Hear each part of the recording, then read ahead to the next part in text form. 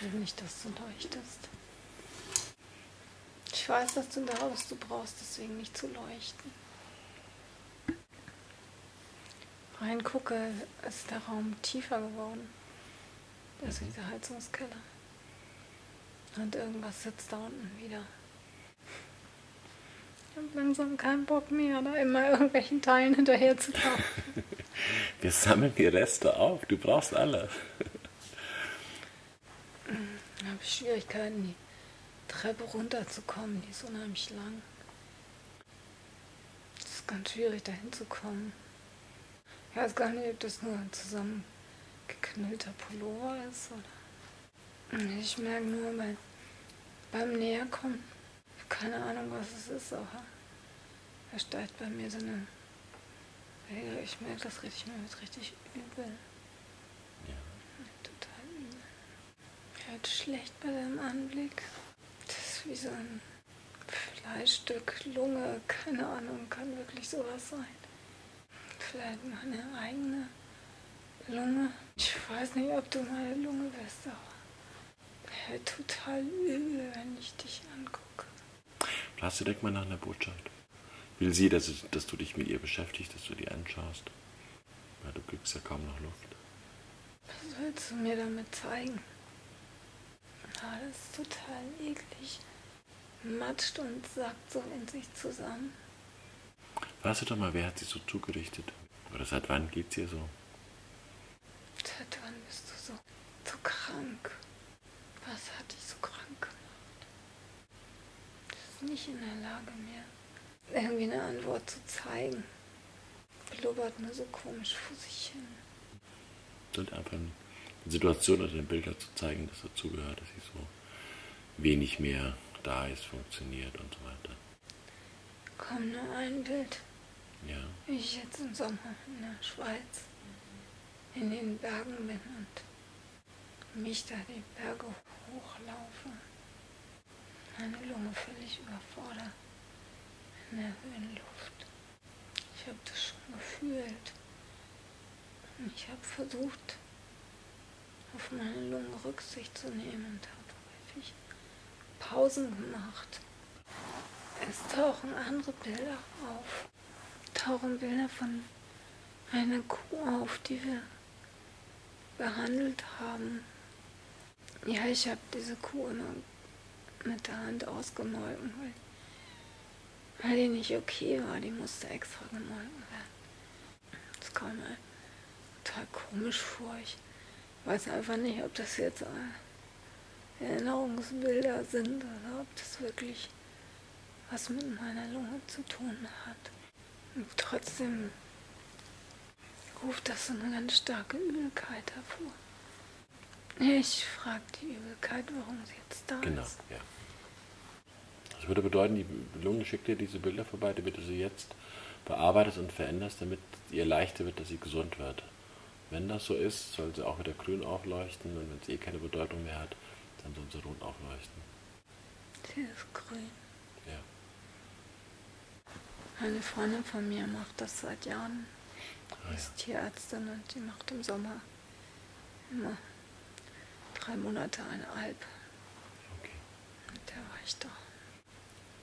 Ja, wen könnte man fragen? Ich würde erstmal die Kuh fragen, gucken, was die dazu meint. Pascal, warum geht's dir so schlecht? Die bricht jetzt vor mir zusammen.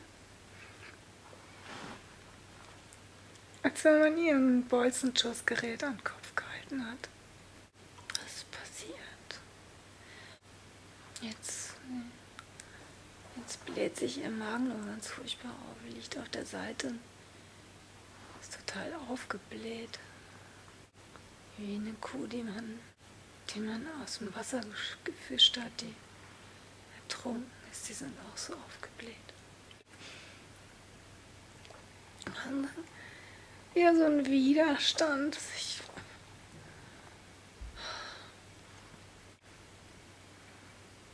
du erzeugst in mir einen ganz großen Widerstand. Diese Bilder, die rufen ganz viel Widerstand hervor. Frag die Lunge, ob es wichtig ist, damit sie mehr atmen kann. Der größere Anteil ist grün. Dann sollen die Bilder auftauchen, die wirklich wichtig sind, die in dem grünen Bereich sind. Guck dir die Bilder nochmal an. Irgendwelche Bedeutung haben sie für dich. Du kannst dir aber auch fragen, was habt ihr mit meinem Leben zu tun? Und es kann sein, dass du Erinnerungen bekommst. Tja. Diese Kuli löst sich jetzt richtig in Streifen auf. Ich habe das Gefühl, ich bin auch gar nicht mehr in dem Stall. Hast du nur ganz rudimentäre, ganz ekelhafte Bilder von, ja, weiß ich nicht, so Großaufnahme vom Ausweiden.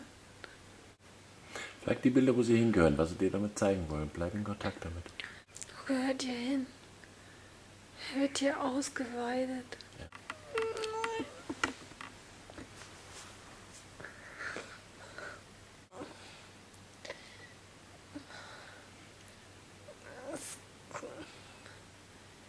Es wechselt immer zwischen Bildern aus dem Schlachthaus von meinen Großeltern und einem Stall. Und ab und zu kann ich, kann ich eine Uniformmütze sehen. Und jetzt schiebt sich, schieben sich die Folterbilder von, von Harald Duwe davor, die ja, so ein, ein Künstler, der so. ganz abartig, ganz widerlich widerliche Bilder von gefolterten Menschen gemalt hat. Die hast du dir wann angeschaut? Schon etliche Jahre her. Ist mir auch ganz schlecht geworden. Oh ja. Dann hast du jetzt einen Hintergrund. Und du hast als Kind erlebt, deine Großeltern hatten einen Schlachthof? Und hast es als Kind wahrscheinlich gesehen. Ich war nur ganz selten da, ich kann mich an nichts erinnern. Gut, das muss aber trotzdem noch einen tieferen Hintergrund haben, weil wenn solche Bilder von einem Maler solche heftige Gefühle auslösen, dann muss es tiefere Gründe geben. Gut, dann bitte doch die Bilder, sie sollen lebendig werden, die von dem Maler. Duve. Er hat sich immer selbst umgebracht. Dann lass ihn doch mal auftauchen, den Maler. Und sag ihm mal, seine Bilder lösen wir die heftigen Sachen aus. Oh, es ist es geht immer hin und her. Die Gefolterten in den Bildern, die sind auf an allen möglichen Extremitäten aufgehängt und tropfen so teilweise richtig runter. Und ich sehe mal meinen Opa, wie der Würste füllt. Und wie meine Oma den Topf mit dem Schwarzsauer rührt. Also Blut kocht. Das ekelt mich an, was ihr macht. Meine Oma versucht mir das mit dem Löffel mir was zum Probieren zu geben. Das Blut von den Tieren. Das ist total widerlich. Okay, es könnte sein, dass du es mal probiert hast als Kind. Mein Bruder hat das immer gegessen. Ich fand den Geruch schon so ekelhaft. Ja. Dann lass dich mal so als kleines Kind auftauchen. Guck mal, wie deine Oma dann darauf reagiert und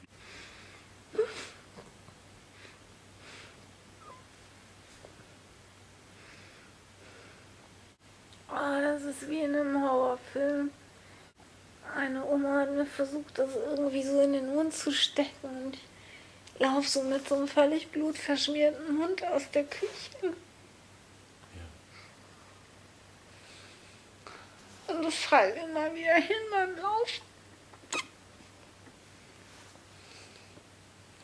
Ja. Und ganz hinterm Tor steht der Geselle und mit einer blutigen Schürze, mit so einer Plastikschürze versucht mich so aufzuhalten. Wie alt bist du denn etwa? Drei. Der ganze Hof ist ja zu, ich komme überhaupt nicht raus. Zu dem Zeitpunkt nicht völlig ausgeliefert.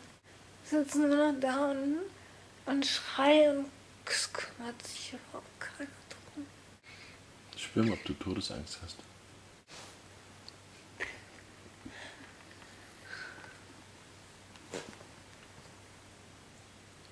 Dann taucht wieder das Bild von dem erschossenen Sträfling, Inhaftierten von gestern auf. Ja. Der erschossen wird. Oh, das Blut so aus dem Mund raussprudelt. Das heißt, diese Bilder verknüpfen sich in deinem Unterhaus, in deiner Seele ganz tief mit den Bildern aus dem Lager.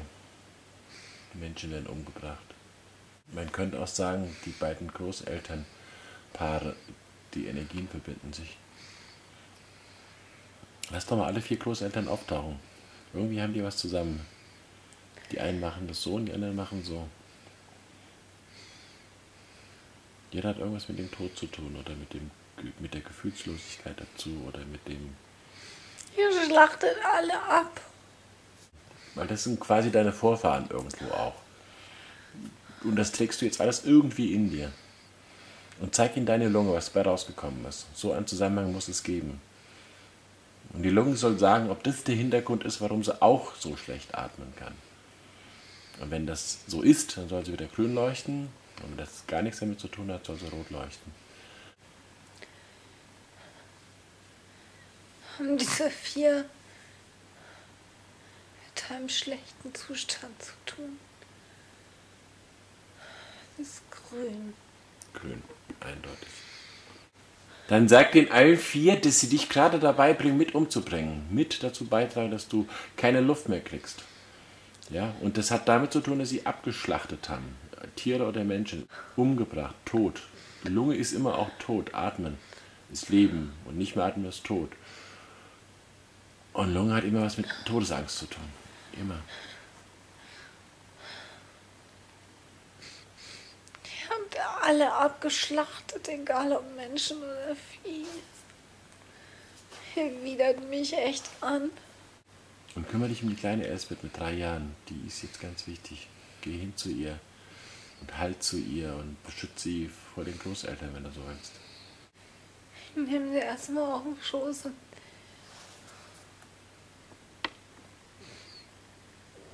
er bricht sich erstmal. Schau mal, wie deine Großeltern reagieren, alle vier.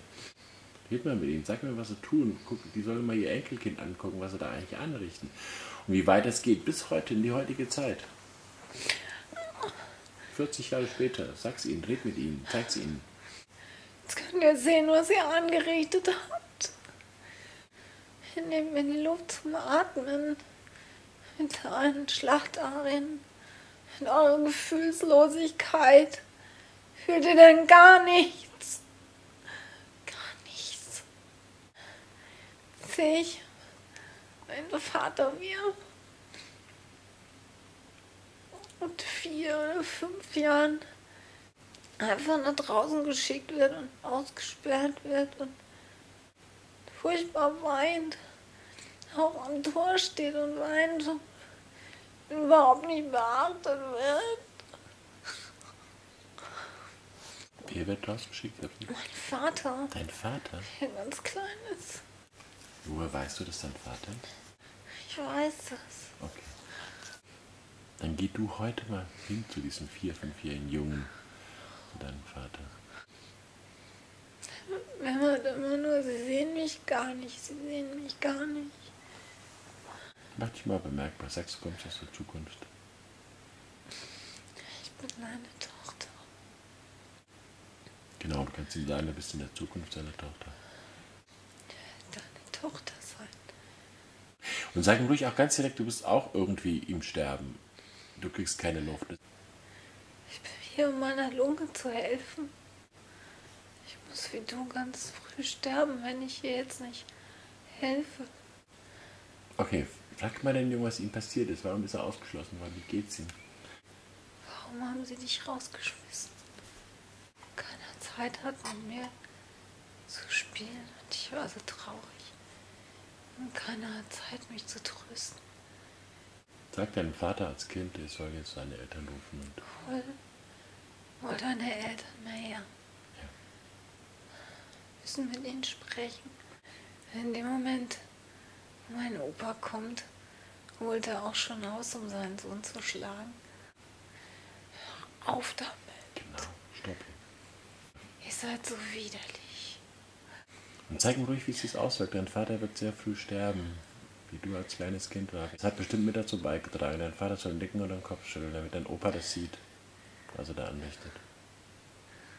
Ihr habt schon ganz früh den Grundstein für das frühe Sterben eures Sohnes gelegt. Ja, Mein Vater nickt. ja. Er ist schon ganz früh zerbrochen an eurer Härte und Gefühlslosigkeit. Und du bist wieder halb zerbrochen an der Härte, die dein Vater dadurch hatte und sterben musste oder gegangen ist. Bis hin zu deiner Lunge, die heute keine Luft mehr kriegt.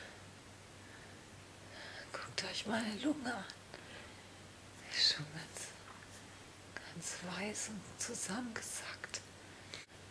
Vielleicht ist die Bestrahlung, die dir geschehen ist, diese medizinische, auch vielleicht nur ein Ausdruck davon. Vielleicht ist das irgendwie alles zusammenhängend, wer weiß. Vielleicht hast du es deshalb erduldet, akzeptiert, mit dir machen lassen. Weil du ganz tief Ich gewohnt auf bist, wie die Härte funktioniert. legen lassen.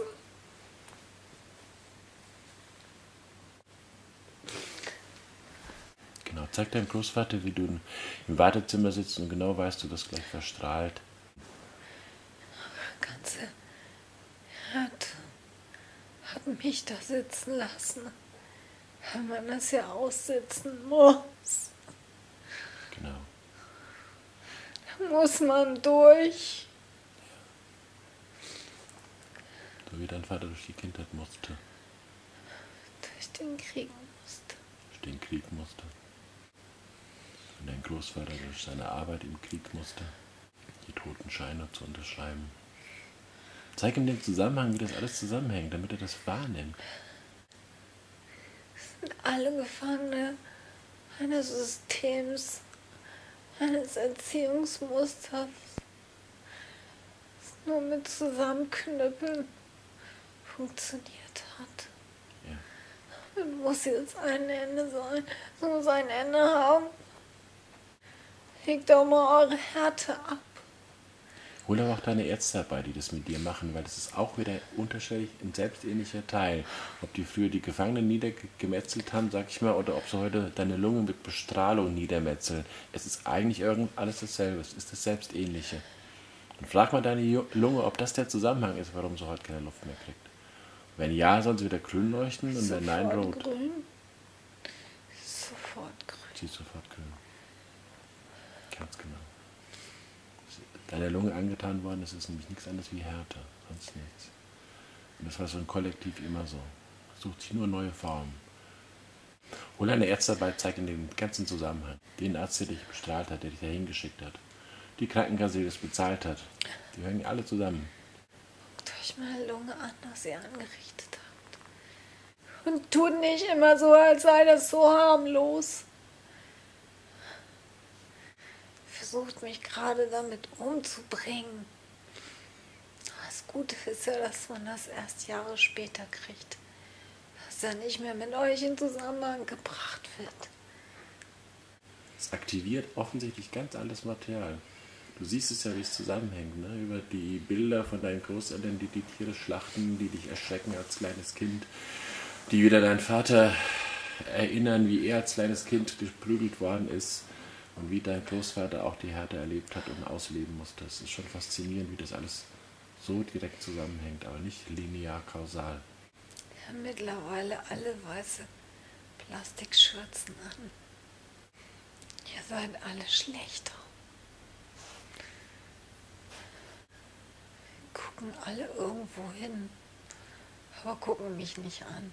Wie ist das für dich, wenn du sie jetzt alle anschaust? Du bist die Verbindung zu allem. Alle Bilder untereinander treffen sich in dir. Ich kriege eine Scheißwut. Bei dir geht es ja jetzt auch um Leben und Tod. Ich habe sie jetzt in das hochgekachelte Schlachthaus geschickt einfach die Tür zugemacht und habe einfach mal das Wasser angedreht. Ich soll mal fühlen, wie das ist, wenn das Wasser bis zum Halse steht. Ja. Sie kaum noch Luft kriegen. Und ich kann schon ziemlich bald sehen, an der Fensterreihe ganz oben, dass sie da alle so mit schrägen Köpfen an der Decke hängen und nach Luft schnappen.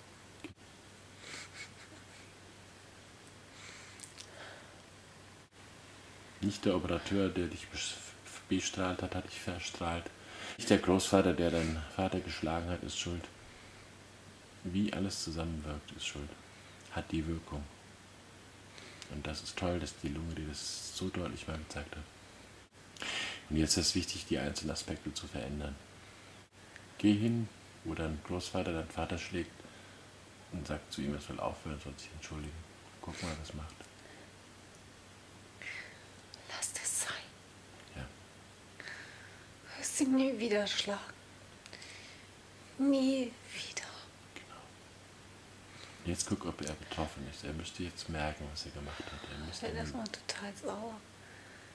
Und ich halte seinen Arm fest und er versucht, den so loszuziehen. ah, noch ein bisschen unansichtig ist er ja anscheinend noch. Wenn du jemanden schlägst, fühlt sich das für denjenigen genauso an, als wenn er keine Luft mehr kriegt. Also lass es sein. Und versprich es mir, dass du sein lässt. Ich lasse ihn das schwören. Ein anderer Großvater dreht schon freiwillig ab und geht wieder zu den Knochen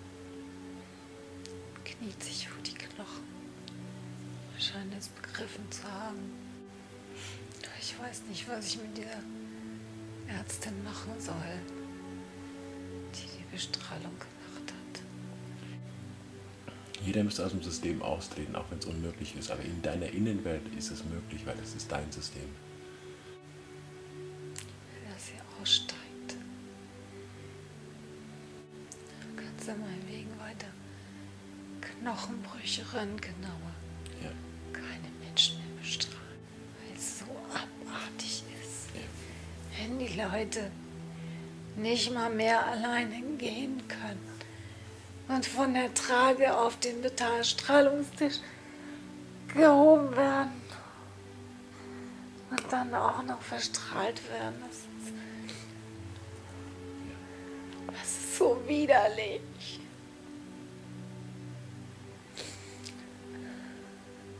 Es ist so menschenverachtend. Wie damals bei deinem Großvater. Es ist eine Selbstähnlichkeit. Die Absicht war, wie auch immer, in den Gehirnen wahrscheinlich positiv. Aber offensichtlich müssten doch viele gemerkt haben, dass es nicht stimmt. Aber offensichtlich hat sich kaum einer getraut auszusteigen. Damals wie heute. Ist Genau so fiese Versuche wie vor, wie vor 50 Jahren, ne, 60 Jahren. Es sind genauso fiese, widerliche Versuche. Das ist so blind. Er versucht sich immer noch wieder zu verteidigen und sagt, dass wir damit auch Menschenleben retten. Die haben vielleicht trotz Bestrahlung überlebt. Und nicht wegen Bestrahlung. Soll mal einen rufen, der wegen Bestrahlung überlebt hat.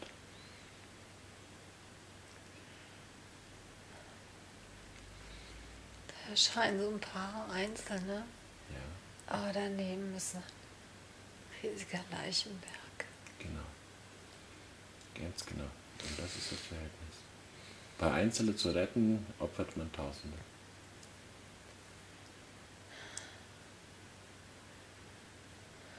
Sprichst du auszusteigen?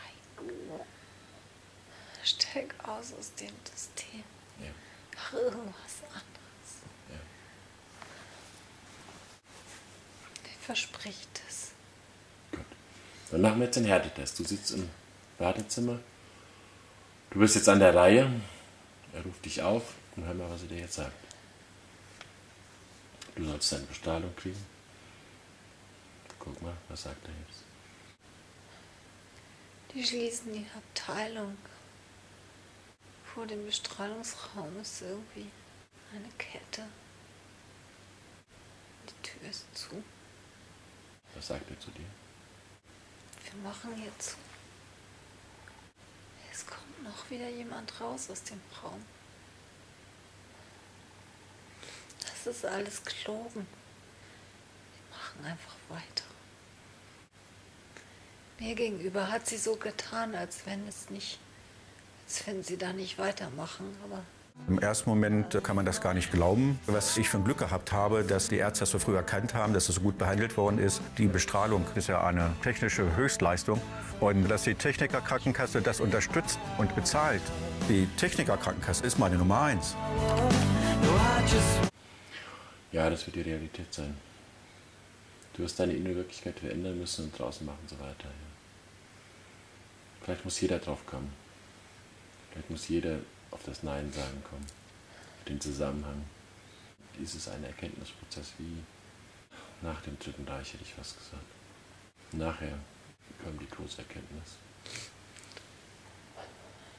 Gut, wie dem auch sei, wichtig ist, dass du keine Bestrahlung mehr kriegst in deiner Innenwelt.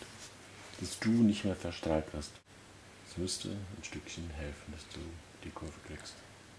ich sehe mich jetzt nur auf dem Röntgentisch,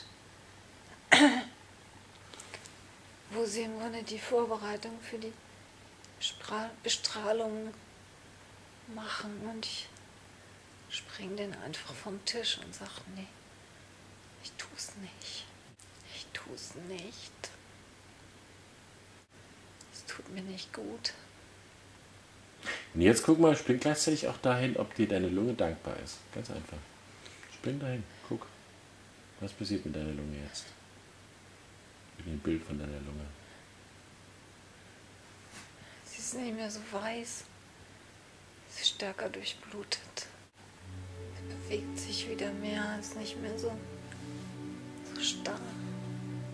Zumindest hat deine Lunge jetzt im Hintergrund Bilder, die angenehmer sind, besser sind. Die Blaupause ist besser wie vorher. Vorher war sie verstrahlt, jetzt ist er mehr durchblutet.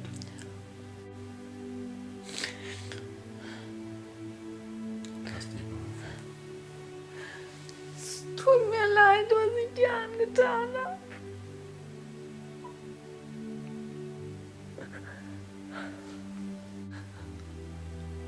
Das müsste dein Großvater auch den Knochen sagen, den Menschen sagen. Gucken, ob dein Großvater das auch schon wahrnehmen kann. Dass ihm leid tut, dass es nicht gewusst hat, was er ihnen antut. Das hat er gestern auch schon getan. Gestern um Verzeihung gebeten. Sich entschuldigt. Kniet vor den Knochen und weint.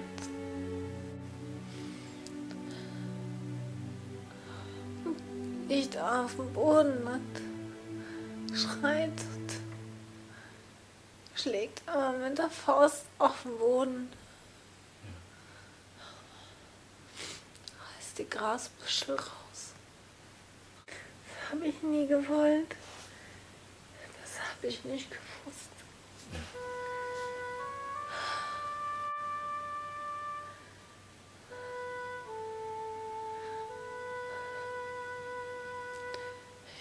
Das wieder gut machen. Ich weiß noch nicht wie. Wir müssen es wieder gut machen. Frag deine Lunge, was du machen kannst. Was kann ich tun? Ich soll sie trainieren. Bewegen.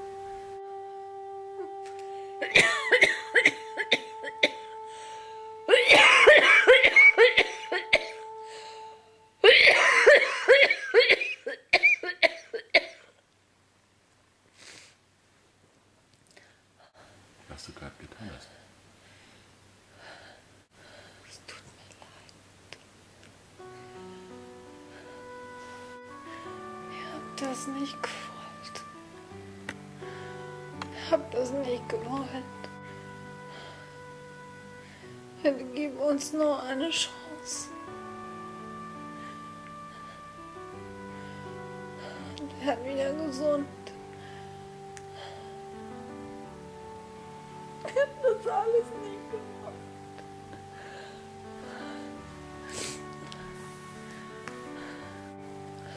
Ob sie bereit sind, was zu verändern für dich. Für sich. Seid bereit, was zu ändern, um mir zu helfen. Du bist immerhin ihr Enkelkind. Sind bereit. Ein Opa streichelt erst die Tiere und gibt ihnen was zu fressen, bevor sie umbringt. Schließlich sein Beruf. Das ist in Ordnung, dass du die Tiere gerne hast. Schließlich ermöglichen sie dein Leben oder deinen Lebensunterhalt. Behandle sie einfach mit Achtung. Achtung vor dem Leben. Meine Großmutter hat mich jetzt als kleines Kind an die Hand genommen nimmt mich wieder mit in die Küche, aber zeigt mir nicht mehr den Topf mit dem Blut. Dann setzt mich an die andere Seite des Raumes und steht mir einfach nur ein Glas Milch hin. Ich vermute mal, die Kuh gibt jetzt auch wieder einwandfreie Milch. Und das ist der Zusammenhang. Wenn du jetzt auf die Alm springst, müsste die Kuh einwandfreie Milch geben. Aber die Milch sieht okay aus. Trink sie mal, wie das, Milch, wie das Glas Milch von damals.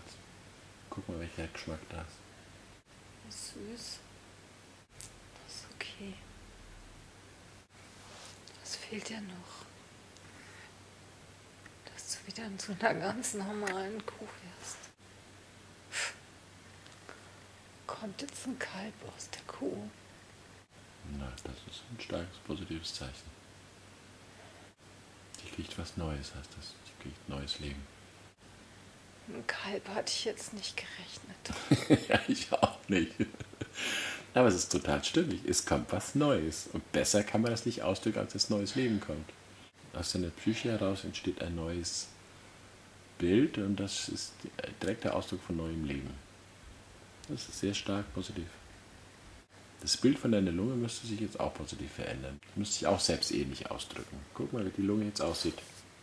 Ist nicht mehr so weiß. Das ist einfach gut durchblutet.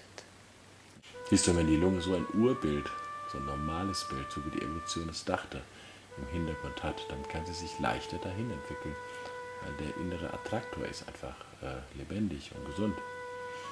Wenn du aber solche Bilder hast, die die Lunge so zerschunden haben, dann ist es sehr schwer, den Heilungsprozess dahin zu bringen, ja, dass er wieder gesund wird. Also von daher hast du jetzt heute enorm viel getan für deine Lunge. Du hast dir wieder quasi die, die Matrix gegeben, wie sie gedacht ist. Du hast sie wieder so hinbekommen, wie es lebendig und stimmig ist, gesund ist. Da müsste sich deine Lunge total drüber freuen. Wenn das stimmt, soll sie grün leuchten und wenn das alles Unsinn ist, dann soll sie rot leuchten. Im Hintergrund etwas rot, aber vordergründig grün. Gut. Also irgendwas im Hintergrund ist ein bisschen anders. Und irgendwo ganz weit hinten in meinem Kopf ist so ein rotes Lämpchen. Was machen wir mit dem roten Lämpchen? Auswerfen. Das ist eine Symptomvernichtung. Du weißt, die Birne rausschlagen, alles wieder in Ordnung. Sehr weit verbreitete Methode. Tja, und Autosuggestion wäre dann die Birne rausdrehen und eine grüne reindrehen. Genau. Aber das ist die perfekte Verarschung. Ja, finde ich aber ganz legitim. Seit wann begleitet er dich? Ach, Seit ja, ziemlich genau vier Jahren. Er hat das letzte Mal, das erste Mal angefangen, mit mir über den Tod zu sprechen. Vorher hat er das immer strikt verweigert. gesagt, nee, so weit sind sie noch nicht. Nix da. Das letzte Mal und, äh, konnte er sich nicht mehr zusammenreißen. Bestimmt zwei Wochen her, dass ich ihn sehe.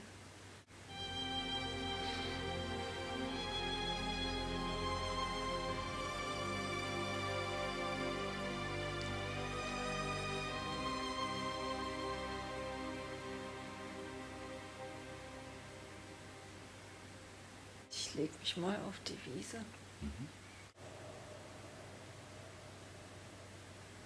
sind jetzt ganz viele Bilder aufgetaucht.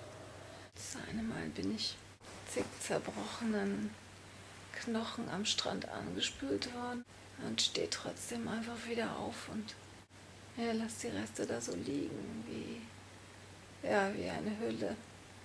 Da auf der Wiese liege und so ledrig zusammenschnurre und plötzlich aus der Mitte ja, wieder einfach mich raus, ja, mich da so rausschäle, eine Hülle einfach liegen lasse. Fast so ein Gefühl als so ein Grundgefühl, wir sterben ohnehin nicht. Ja, jetzt muss ich einfach gucken, ob ich mich häuten muss, um weiterzuleben. Oder wird sich zeigen. Auf jeden Fall ist bei mir das Gefühl, ich habe irgendwie unglaublich tiefen Sumpf verlassen. Jetzt noch die Frage nach der Dankbarkeit. Ich wollte gerade sagen, da fehlt noch was. Fehlt noch was. Spür mal, ob du dir dankbar sein kannst. Du hast es gemacht, das ist deine eigene Leistung. Du bist dran geblieben, du hast die Hoffnung nicht aufgegeben, du hast nicht geglaubt. Du bist dafür gegangen. Ja, es ist ein unglaublich tiefes Gefühl.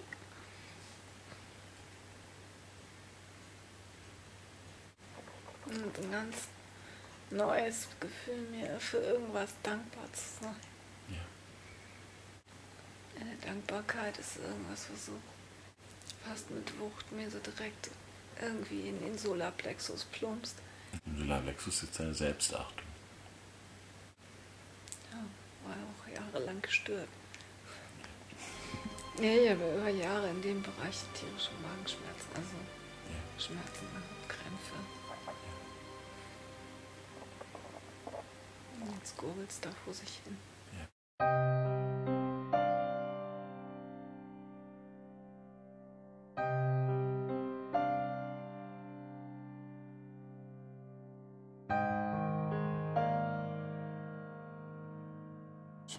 Meisten halten Jolies öffentlichen Umgang mit der Operation für mutig. Andere fürchten aber, dass die Hollywood-Schönheit ein falsches Signal aussendet, weil sie eine übertriebene Angst vor Krebs schüren könnte.